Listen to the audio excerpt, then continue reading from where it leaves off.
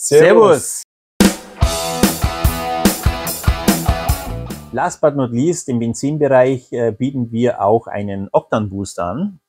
Und zwar äh, bei diesem Produkt handelt es sich um ein, ja, definitiv ein, ein Spezialprodukt, denn es ist metallfrei.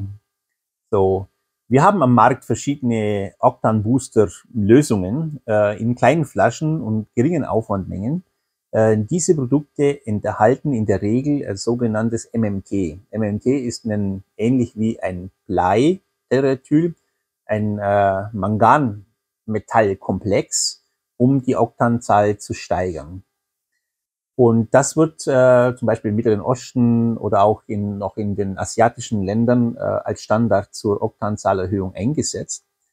Jedoch ist es so, dass äh, durch den Einsatz der metallhaltigen Additive eben es zu großen Problemen an den Katalysatoren kommt.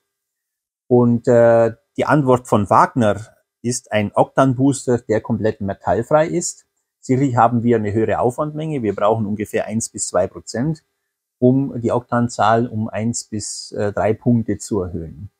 Der Octan-Booster kann äh, in alle Benzinsorten, also beginnend von ähm, Super, Super Plus bis hin zu den Premium-Kraftstoffsorten äh, bis zu 102 Oktan eingesetzt werden, um eben Grenzsituationen oder bei schlechteren Kraftstoffen, äh, die zum Beispiel im Ausland angeboten werden, äh, hier entgegenzuwirken, um einen äh, perfekten Betrieb des Fahrzeuges zu gewährleisten. Ja, Heiko, du beschäftigst dich auch mit leistungsgesteigerten Fahrzeugen. Was sind deine Erfahrungen mit dem Octan Booster?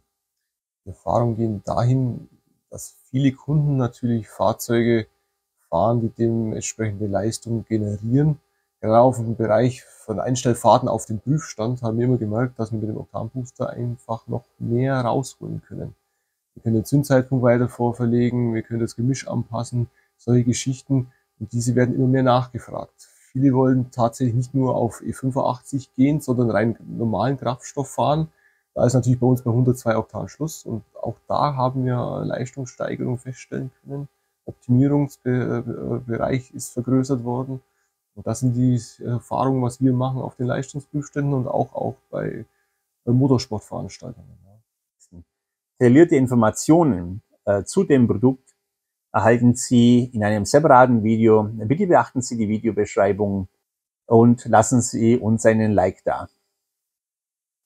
Vielen Dank zum Zuschauen und Servus.